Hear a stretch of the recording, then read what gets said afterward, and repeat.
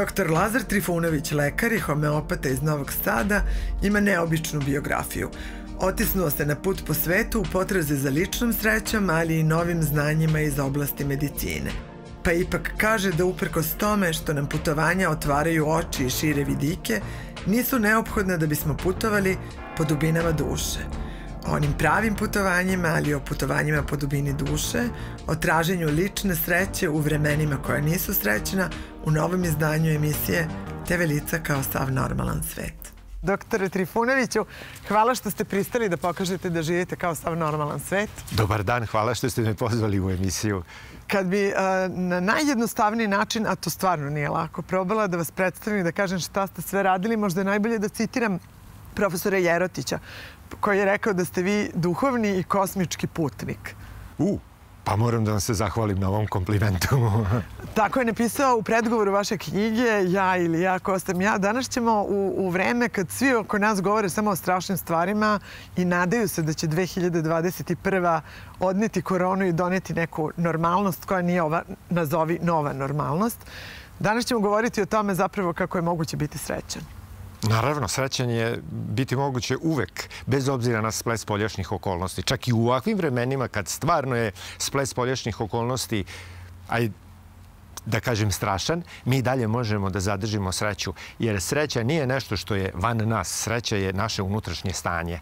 A mi to možemo da regulišemo sami. Samo što nam to niko nije rekao i niko nas nije naučio.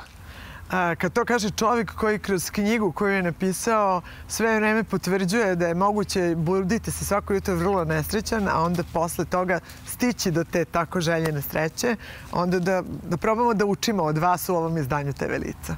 Pa evo, ja, ja bi to drugačije formulisao, a mogu da podelim sa svima moja neka iskustva koje očigledno daju rezultate i koja mene bar a, najveći deo vremena, ne uvek i ne stalno, ali najveći deo vremena čine srećnim iznutra, bez obzira što postoje svi problemi koje postoje kako na mom ličnom nivou, tako i na našem kolektivnom nivou trenutno u ovoj situaciji. E, ako ove najava nije zakucala gledalce pred TV ekrane, onda ne znam šta će. Ajmo na neko toplije mesto da počnemo priču. Ajde, možemo.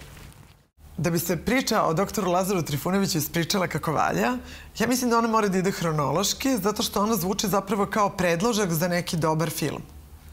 A, verovatno su vam predlagali da, da se u nekakvu filmsku priču pretoči knjiga Ja ili ja, ko sam ja. Ali ako bismo hronološki krenuli, vi ste zapravo iz ugledne lekarske kuće iz Novog Sada I pretpostavljam iz svih porodica lekari očekuju da će im naslednici nastaviti čitavu tu priču. Otac vam bio ginekolog? Jeste, da. Da, i tu nije bilo uopšte priče čime ću se ja baviti, e, s tim što moj otac nikada nije meni rekao ti moraš da budeš lekar mm. ili to je to i ništa drugo. On je imao jednu pametniju taktiku. On je na neki način kroz moje detinstvo predstavljao meni koje su sve prednosti kad je neko lekar na raznorazne načine. Tako da je u nekom trenutku sam ja shvatio, wow, pa biti lekar to je nešto jako dobro, super lepo živiš. Ja se uvek setim u stvari kada sam upisao uh, fakultet, ne, kad sam položio prijemni za medicinski fakultet, otišao sam kod mog strica, koji je isto lekar, ovaj, koji je bio pravi naučnik. On je kardiolog bio i on mi je rekao, on mi je rekao, sad ću ti otkriti tajnu kako se postaje dobar lekar. To zapamti, jer to će ti trebati za ceo život. Na što sam ja pomislio, wow, super, evo sad ću nešto saznati, neću morati uopšte ni da učim ništa. I onda je na moje iznenađenje on rekao, vidi, od sada pa do kraja života Nemoj da ti prođe ni jedan dan, a da ne učiš. Ne moraš svaki dan učiti 5-6 sati, nekad će to biti sat, dva, ali ni jedan dan nemoj da ne učiš. Ja sam ga gledao onako i mislio, je li ovaj čovjek normalan? Jer sam očekivao, naravno, postoji neki, neka prečica, neka tajna, kako se postaje dobar lekar. A on mi u stvari rekao vrlo jednostavnu stvar, kako se lekar postaje. Ja sam zapravo imao neku ideju, pošto sam nešto pred kraj fakulteta bio u Americi i onda sam imao ideju da ovaj, upišem postdiplomske studije iz nekog medicinskog menadžmenta uh -huh. u Americi I tim sam se zanosio, međutim, nisam ja uopšte za takve stvari. Dobro je što to nisam uradio. Ali nakon završenog medicinskog fakulteta ja sam krenuo da putujem po svetu, a, da istražujem na koji način se sve a, ljudi leče. Pošto sam znao, iako mi je to bilo nepoznato, samo sam tako a, iz nekih knjiga saznao da postoje različiti načini na koji se ljudi leče širom sveta, iako sam bio dosta zatvoren za takve stvari. Jednostavno ono kao, zna se šta je klasična medicina, zna se šta je klasična nauka, nemojte vi meni sad pričati tu o nekim stvarima da može na drugačiji način da se, da se leči. No, a, negde pred kraj fakulteta i na samom kraju fakulteta ja sam upao u neku krizu, životnu krizu koju mi svi doživimo tokom života. I onda sam shvatio da, u kao mlad lekar sam shvatio da klasična medicina nema rešenja za takve stvari. I onda sam pomislio, čekaj, a svi ti drugi načini lečenja, možda tamo ima neko rešenje. Ali iz tog, eh, tih veselih dana i tih srećnih godina iz studentskog eh, života, eh, kako se razvije to osjećanje da se mlad čovek budi svako jutro nesrećan i da ne može da se osmehne ujutro? Kako ste konstatovali šta je to što vam nedostaje za sreću?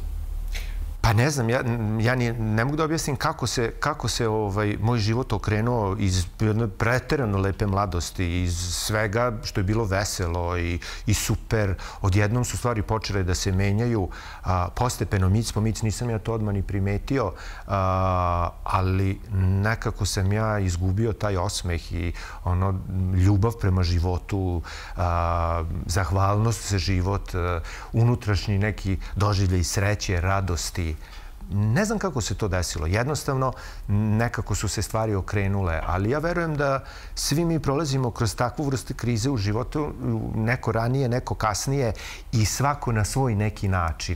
To može da dođe bez određenog razloga, može nešto da se desi, pa da nas uvede u tu krizu. E sad, kako su počela ta neka moja previranja, tako su počeli i tako je počeo raspad Jugoslavije. Tako da se to nešto preklopilo i to je doprinelo poprilično promeni mog unutrašnjeg stanja.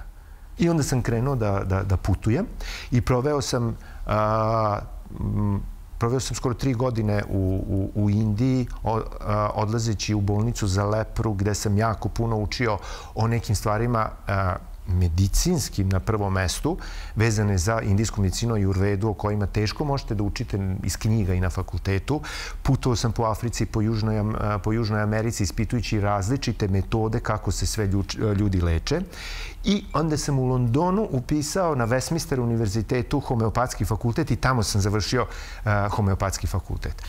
Ono što je bila prva ideja da će biti destinacija bilo je pod utjecem Kastanede. Zapravo je prvi put trebalo da bude Meksiko, ako se ne varam. Pa da. nekako to preokrenulo u nekoliko dana pred put. Kako ste uopšte rešili da krenete na takva putovanja? Pa, dok sam studirao medicinu, Kastaneda je bio moj omiljeni pisac. Znači, mislim da sam sve knjige znao na pamet. A, I bio sam rešen da odem u Meksiko, da ja to malo ispitam tamo šta, kakva su to sve učenja, tajna, a, da saznam nešto više nego što mogu iz njegovih knjiga kako se, znate, ono ja volim da kažem, čudni su putevi gospodnji. Ja sam se spremao za put u Meksiko, nikada nisam bio, dosta sam se naputovao po svetu, a nikad nisam dospeo u Meksiko. Iako sam se spremao da idem u Meksiku, u roku od nedelju dana se sve okrenulo i ja sam završio u Katmandu, u Nepalu, umesto u Meksiku. A, ali jedino što mogu da kažem, evo da ponovim, čudni su putevi gospodnji. I što su prve slike koje pamtite iz Nepala?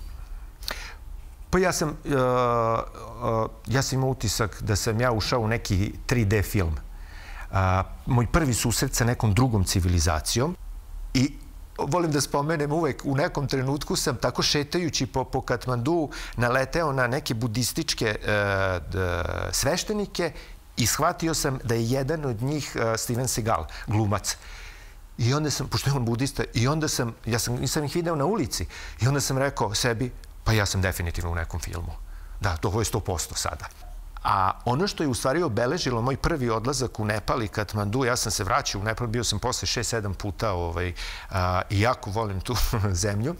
A, mislim da je, da je najveći pečat tog mog prvog odlaska tamo a, su dve stvari koje ja u knjizi opisujem. Susret sa decom koja jedu pirinač koje su našle na, na, na zemlji, koja su očigledno gladna, pri čemu su vesela, razdragana deca, smeju se, što je u meni, nešto se odigralo u tom trenutku u meni, ja ne mogu da objasnim šta se odigralo, ali je pokrenuta lavina nekih razmišljanja kako su ta deca tako vesela, očigledno nemaju šta da jedu, čim jedu sa, sa, sa uh, uh, ulice, šta se desilo sa mnom, gde je moj smeh, zašto ja više nisam veseo, zašto sam se pretvorio u jedno mizerno biće, a u principu sam imao sve odrasto ovaj, u super lepom okruženju, sve mi je pruženo, sve mi je dato, sve je išlo kako treba.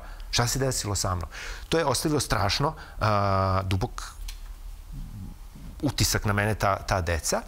I a, posle par dana kada sam bio, a, kada sam bio u Pašupati hramu, to je hinduistički hram na, na, u periferiji Katmandua, tamo sam popio čaj sa tri sadu, a sadu su u hindu religiji sveti ljudi koji su posvećeni Bogu i koji ne žive ovo zemaljski svakodnevni život ko, ovaj, mi što živimo. Možete ih sresti po, po Nepalu, po Indiji, svuda. Uh, ja u to vreme nisam znao šta se tu desilo. Ja sam s njima imao neku prećutnu komunikaciju. Oni su mene ponudili da popijem čaj s njima. Ja sam prvo pogledao šoljice iz kojih piju čaj, ono rekao ja iz ovih šoljica piti čaj neću.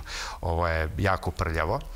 E onda sam na to pristao i shvatio da ono čega se ja grozim nisu te prljave šoljice, nego se grozim onoga u šta sam se pretvorio, šta je u meni. Prvi put sam se suočio, to je moje mišljenje, da sam se prvi put suočio sa svojom senkom, kako to Jung zove, sa tamnim bratom, sa lošim, sa crnom stranom naše ličnosti i da mi je to nekako došlo, samo se ovako pojavilo ispred mene. Hop.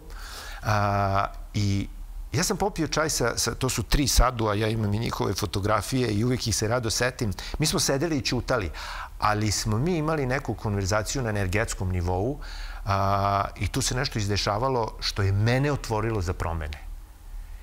I tu počinje početak, ovaj, tu počinje početak svih mojih promena nadalje i od onda a, počinje rad moj na sebi a, i neki lični razvoj koji je imao različite uspone i, i padove, ali to je sam početak i to je negde i početak te moje knjige. Lepo što ste spomenuli fotografije, jer ćemo ovaj razgovor ilustrovati. Vi uh, se bavite fotografijom. Imali ste 2006. uspešnu izložbu, a 2007. humanitarnu izložbu, gde je uh, novac koji je sakupljen od prodaje fotografija otišao za deče selo, ako se ne varam i osnovana i fondacija.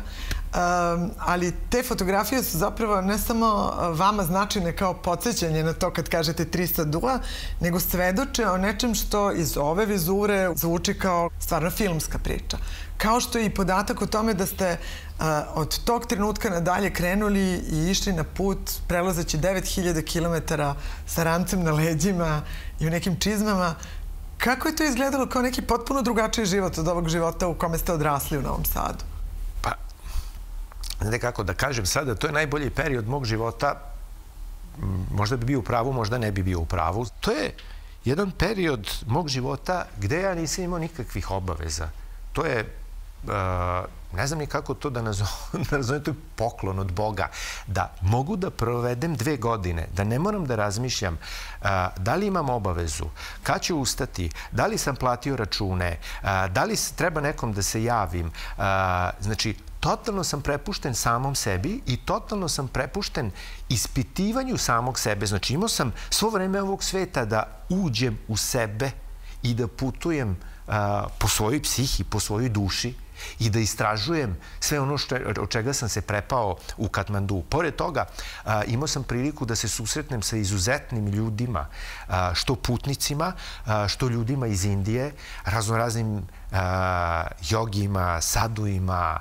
A, upoznao sam jako puno zanimljivih ljudi od kojih sam puno, puno toga naučio i koji su me na neki način usmeravali. Moj plan je na tim putovanjima bio da plana nema nego opet uh, ono čudni su putinji, putevi gospodnji. Jednostavno, kako, kako me put vodio, ja sam išao za tim. A ja sam kroz ta moja putovanja negde uh, otvorio prvi list knjige kako se nositi sa teškim stanjima u životu, jer teška stanja u životu i krize moraju da dođu. I knjiga upravo i piše o krizama raznoraznim u, u, u našem životu. Kriza nije samo, eto, do juče sam imao lep život i sve išlo kako treba, a danas imam problema i nesrećan sam i zašto sam ja kome i Bogu skrivio i zašto se ovo meni dešava. Ne, Mi moramo znati da je svaka kriza mogućnost, potencijal, odskočna daska za naš razvoj, za razvoj kao ljudskih bića. I u svakoj krizi se krije potencijal koji moramo da prepoznamo. Ako se postavimo kao žrtva, eto, jadan ja, u šta mi se život e, pretvorio i svi su mi krivi, onda smo se zablokirali ostajemo tu gde smo i nema nikakvog napretka. Ako prihvatimo odgovornost za svoj život i kažemo, ok, ja sam odgovoran za ono što mi se dešava. I verovatno da ima neki razlog. I ako dobro razmotrimo, ako dobro razmotrimo uh, celu situaciju, uvek ćemo naći da je kriza neka vrsta lekcije za nas. I to upravo ona lekcija koja nam treba. Uh, znate, ja sam godinama tražio tog nekog gurua svuda po svetu sve dok nisam shvatio da nam je život najveći guru. Život nam sve životne lekcije servira ispred nas. E, druga stvar je što mi to ne prepoznamo i mislimo da ćemo negde naći neko ko će nam olakšati probleme. Ne, mi možemo da upoznamo razne ljude koji će nam biti kao putokaz, koji će nam pomoći, koji će nas usmeriti, a, ali naše probleme i naše krize možemo sami da prevaziđemo. Među te ljudi koji su vam bili posebni putokazi na putovanju, bio je čovjek o kome često govorite i puno govorite u knjizi, koji vas je odveo na, u jedan potpuno drugačiji izazov, a to je ušli ste u bolnicu za leprozne pacijente. I ne samo to, vraćali ste se sedam godina u tu bolnicu i pomagali u lečenju. Pa da, radi se o Rai Masteru, čoveku koji je, ja mislim, ostavio najveći pečat na moj život i o kome uvek rado pričam a, i o kome sada a, mogu da pričam čak i malo više nego što sam ranije pričao. Jer naše priče, naši razgovori koji su trajali satima i satima, o kojima ja nisam pisao u knjizi, jer nisam znao kako to da predstavim. E sada sam polako proučavajući, prosto neverovatno, ali polako proučavajući, uh, tu je vezano za moj posao, neuronauku i kvantnu fiziku, uh, polako sam došao do toga da moderna nauka dolazi do saznanja o kojima se ranije pričalo kroz razne religije, kroz razne ezoterične škole, kroz razne filozofije, ali sve to izgledalo ono kao malo čudno. Znači, sve ono što sam ja u našim razgovorima čuo od Rai Mastera, upravo ono što nam danas treba. Kako u kriznim periodima sačuvati taj neki unutrašnji mir, tu unutrašnju sreću. Danas nauka zvanična to dokazuje, potkrepljuje činjenicama. Ali ono o čemu stalno govorimo u posljednje vreme, od kad je korona, to su strahovi. Strah od bolesti. Sad, izvinite, kako se prevaziđe strah od toga da se uđe u bolnicu i radi sa leproznim pacijentima? pa e, konkretno taj, konkretno taj moj strah e, je prevaziđen željom za, za, za učenjem i za znanjem. E, ja Kako sam... izgleda prvi susret s leproznim pacijentima? strašno. ja se i dan danas ovaj, naježim i ja uvijek kažem, to je, meni su, kad sam video leprozne pacijente, ja sam ušao u tu neku prostoriju a, gde je bilo njih, ne znam koliko ih je bilo, to je ogromna prostorija sa, sa gomilom ležajeva, neki su bili leželi, neki su a, se šetali, neki su bili van ovaj, zgrade. Uglavnom, oni meni kad su videli, e, pošto nemaju, e, nemaju priliku da, da, da, da vide baš e, belca, Meni je rečeno kad sam otišao u tu bolnicu za lepro da sam treći belac koji je posetio bolnicu za lepro. Ona je osnovana, mislim, 60 i neke godine. Ne mogu tačno da se, ne mogu tačno da se ovaj, a, setim. A, oni su svi krenuli prema meni i izgledali su, meni su izgledali kao oni zombi iz onog spota Michael Jacksona. Tako je to meni izgledao, sam bio prepadnut. Ovaj, sad šta ako dođu pa me pipnu? Ne, oni su samo došli, bili su radoznali do mene, ovaj, zagledali su me, bio je sa mnom naravno lekar, indijac, koji me je uveo tamo i on je video da sam se ja malo isprepadao i rekao, ok, nemoj da brineš ništa, sve, sve je u redu. Tako da, ja kad god se setim tog prizora, ja se, ja se naježim.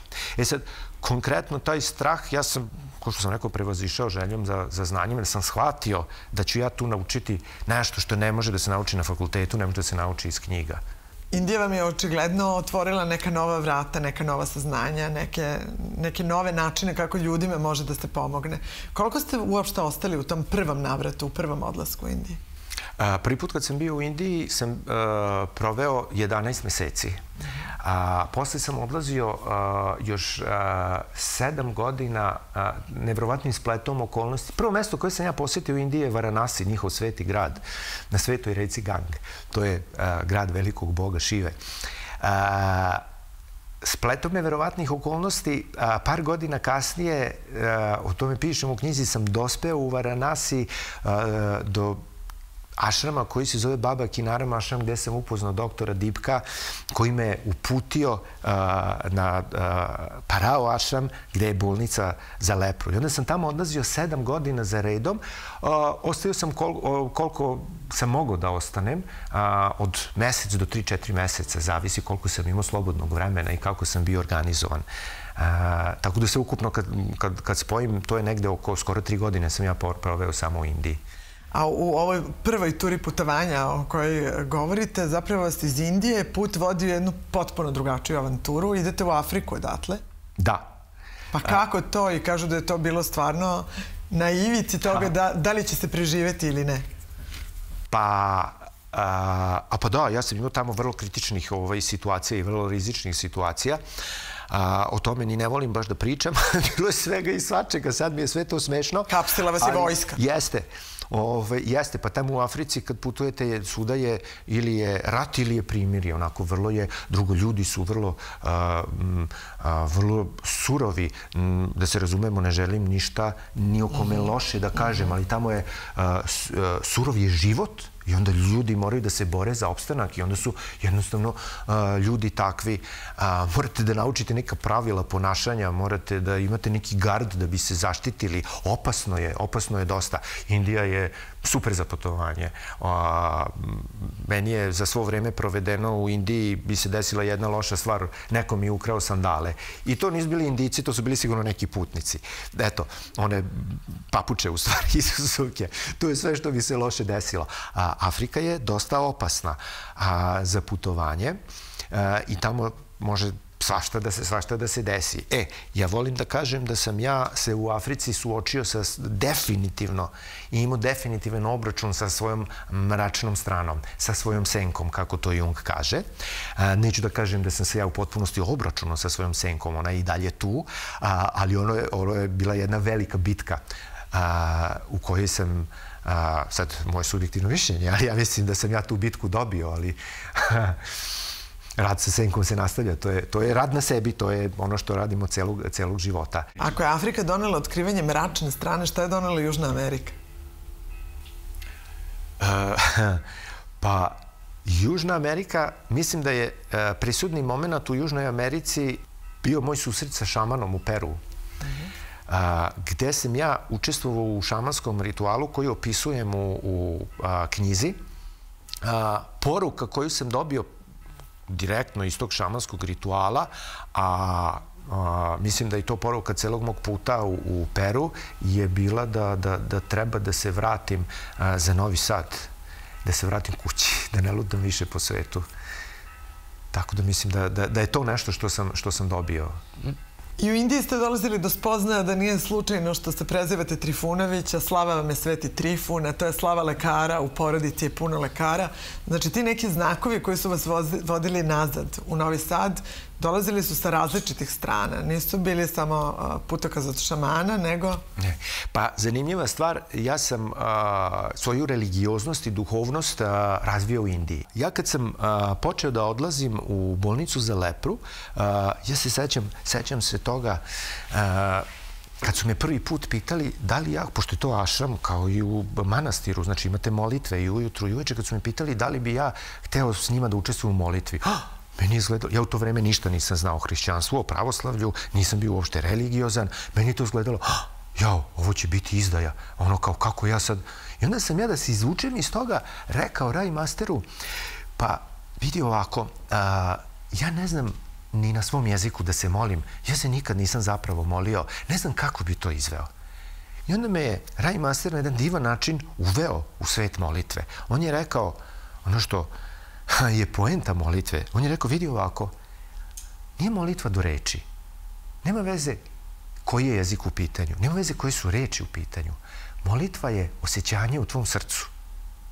E sad, nikada u Indiji mi niko nije tražio da prihvatim a, njihovu religiju. Nasuprot, Raj Master mi je uvek govorio zapamti gde si rođen, a, zapamti šta je tvoja tradicija, zapamti šta je tvoja religija i drži se toga. Lepo je da učiš, lepo je da širiš znanje o drugim religijama a, i o drugim načinima a, i života i civilizacijama i sve to, ali zapamti gde si rođen. Jung na kraju krajeva negde kaže da su naši geni impregnirani religijom podneblja gde smo, gde smo rođeni. Tako da, čudna stvar, ali moja religioznost i moja zainteresovanost za pravoslavlje počela je u Indiji. Ali mislim da je to normalno ako vi pristupite religije na pravi, iskren način. Ako shvatite da je religija ljubav koju nosite u srcu, onda ne može biti greške. Predlažem da prošetamo po tvrđavi odakle se na najljepši način vidi vaš rodni grad i da tu nastavimo priču o tome kako vas je Novi Sad očekao, kakav je život u Novom Sadu usledio posle toga, ali i da pričamo o homeopatiji i znanjima stečenim u Londonu. Može. Novi Sad, e, kakav vas je dočekao 2003. Je li tako izgledao pogled prvi sa ove tvrđave kad ste se vratili? Pa jeste, upravo ovakav.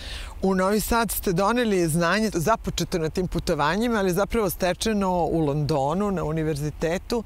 To je homeopatija. Ja sam ovaj, studirao homeopatiju na, na Westminster univerzitetu mm -hmm. u Londonu. Program je trajao a, tri godine.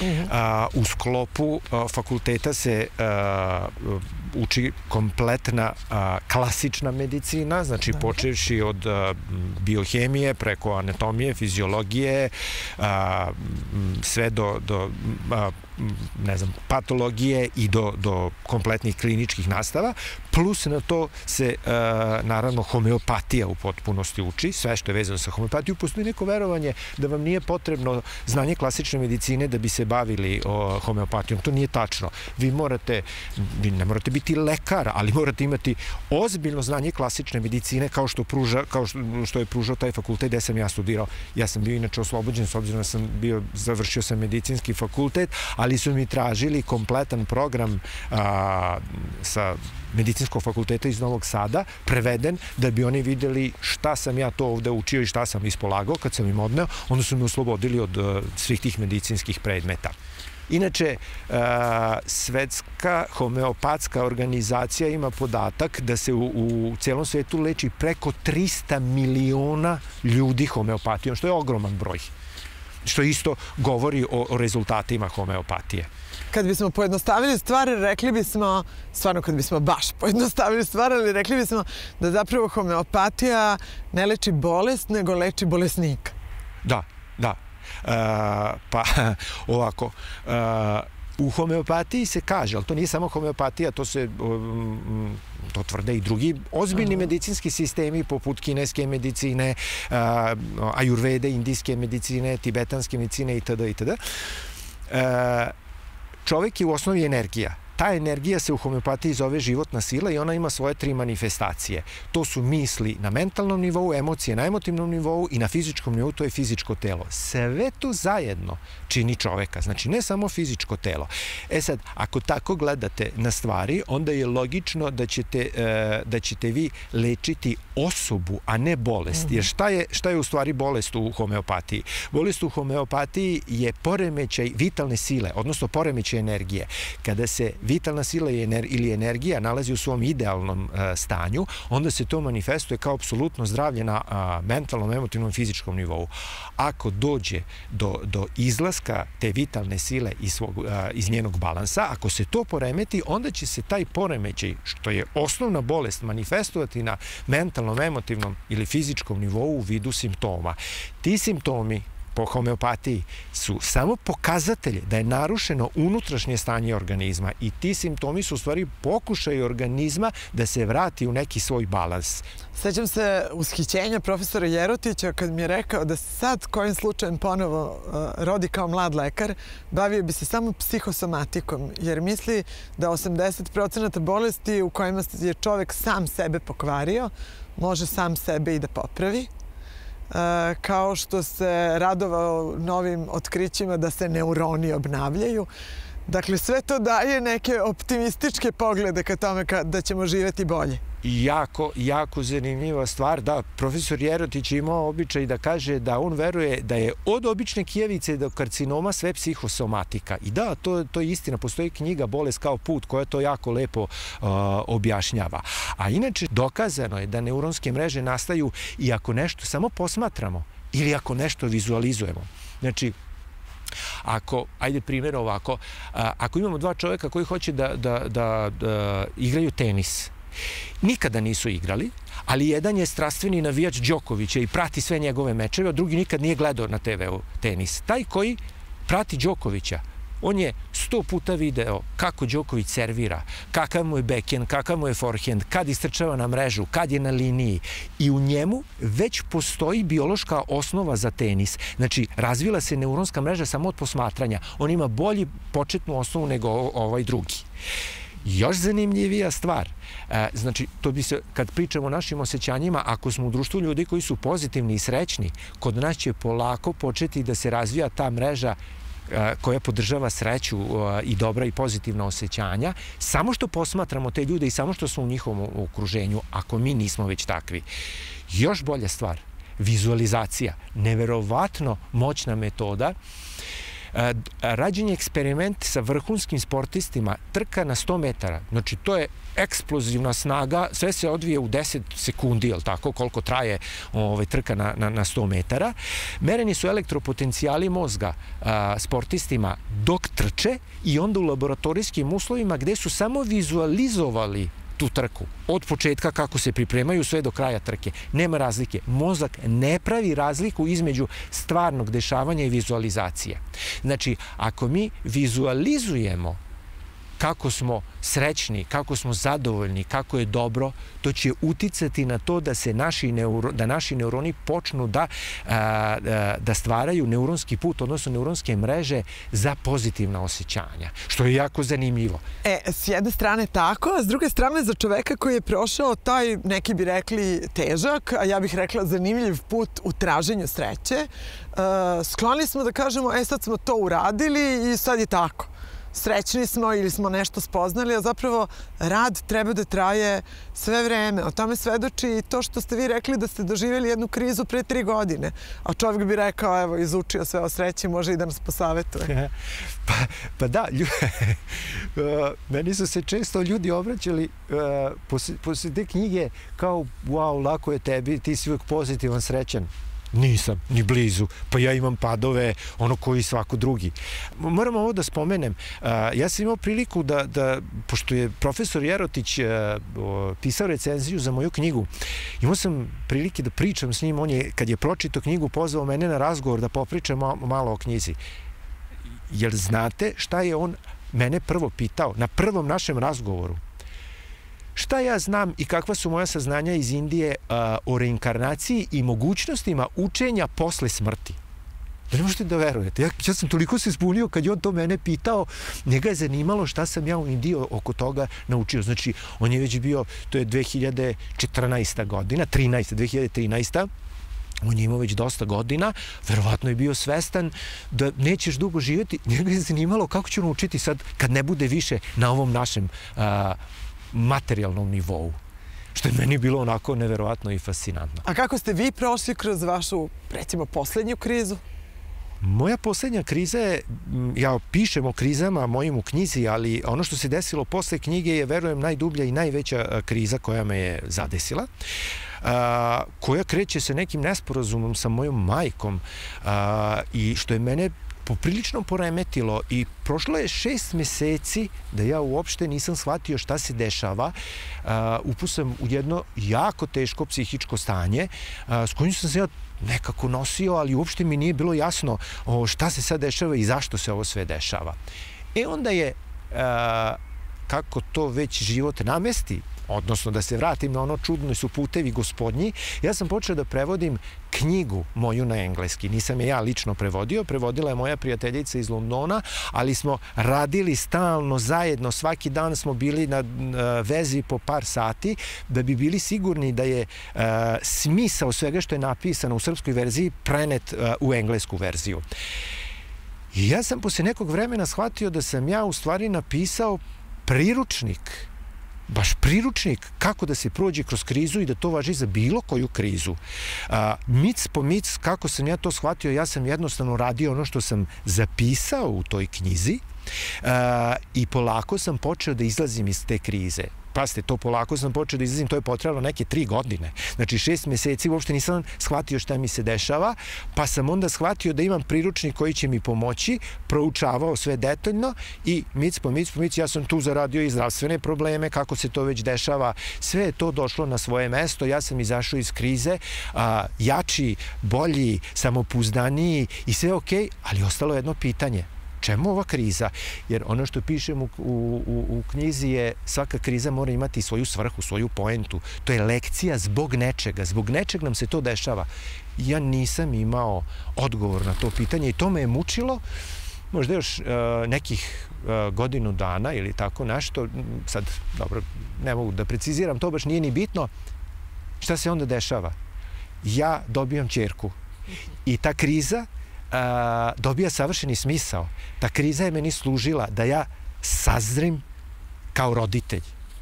A, mislim da sam mnoge stvari naučio, jer kriza kreće od nesporazuma sa, sa mojom majkom, znači sa koja ima direktno veze sa roditeljstvom. Iako sam prošao jako mučan period, ja sam toliko srećan i zahvalan, jer mislim da mi upravo to omogućilo da budem roditelj kakav treba da budem prema, prema moje čerki. Je li vam to prvo dete? Jeste prvo dete, da. Ja sam malo kasno dobio dete, ali očigledno ja nisam bio zreo za roditeljstvo.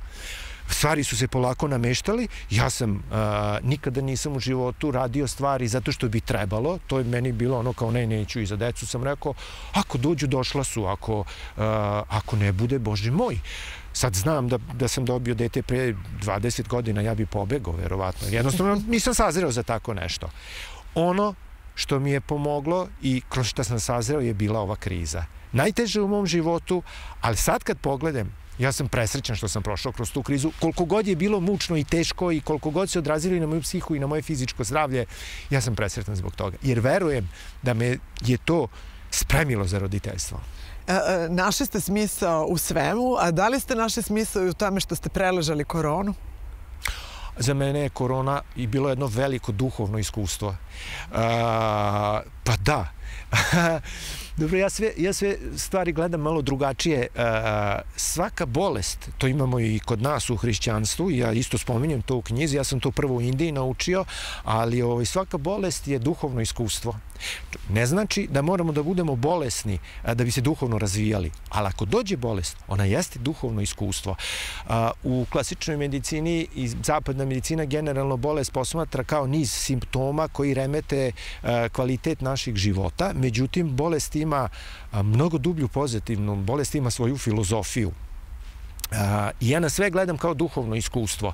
Pa je i korona duhovno iskustvo čitavog čovečanstva, sve ovo što se dešava, dešava se s nekim razlogom. Mi prolazimo kroz veliku energetsku transformaciju i tranziciju. Ja sam optimista, pa mislim da će sve izaći na dobro bez obzira na probleme, ali svakako sam koronu iskoristio a, kao nešto, koliko god to bilo negativno i sve ovo što nam se dešava, a, u, kako naš narod kaže, u svemu negativnom postoji nešto pozitivno. Samo treba da potražimo to. Ako se vratimo na onu priču o bolnici za leprozne pacijente i o strahu od ljudi koji vam liče na zombije iz spota Michaela Jacksona s početka ove priče, a osnovna emocija od kad je krenula pandemija o kojoj svi ljudi govore strah. Postoji li neki primenjeni način na koji strah može da se otira ili da se sreća prizove? A, naravno, naravno da može. Strah, panika i slična srodna osjećanja su direktno povezana sa radom našeg imunog sistema. Znači, ako postoje takva osjećanja, imunni sistem ne radi kako treba i to je direktan uticaj. A, tako da, jako je bitno da probamo da, da anuliramo taj strah a, i postoji mogućnost da se anulira taj strah. A, jedna od metoda a, koji može da se da se primenjuje je na taj način što ćemo vežbati da se dobro, a, da se dobro osjećamo. A, ono što je potrebno da se smirim, da usporim disanje. Znači da imam dug i lagan udah i dug i lagan izdah. To i naš narod kaže, ako smo znemirani, diši duboko i broj do deset, mi ćemo se smiriti. Ako dišemo lagano i dugo, to je znak organizmu da je sve u redu, nema stresa, jer u stresu uvek e, dišemo brzo i plitko. Onda na to možemo da nadovežemo da sami izazovemo neke lepe emocije koje su vezane uvek za srce. Sreća, zadovoljstvo, zahvalnost, ljubav. Kada uspemo u tome, razvićemo mehanizam koji nas za par minuta opušta i daje nam dobro raspoloženje. Mi smo pogrešno naučeni da naše unutrašnje stanje zavisi od spoljašnjih spleta okolnosti. To nije istina. Šta može srećnom čoveku da se poželi na početku 2021. godine?